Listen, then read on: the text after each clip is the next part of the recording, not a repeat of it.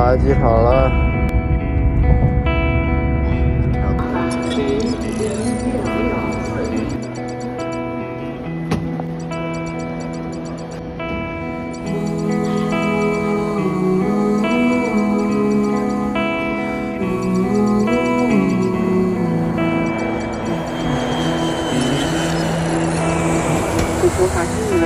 我带着比身体重的行李，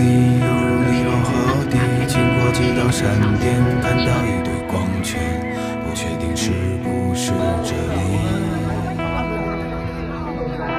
我看到几个人站在一起，他们拿着剪刀摘走我的行李，擦拭我的脑袋，没有机会返回去。直到我听见一个声音，真是晃晃！我确定我还是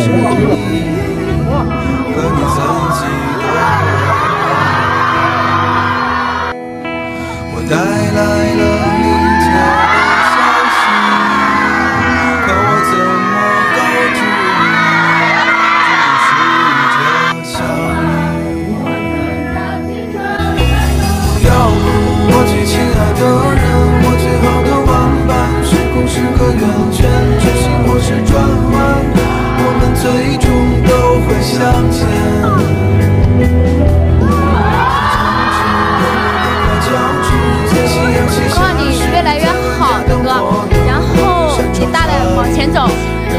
一直在你身后，然后祝你生日快乐，所愿皆所得。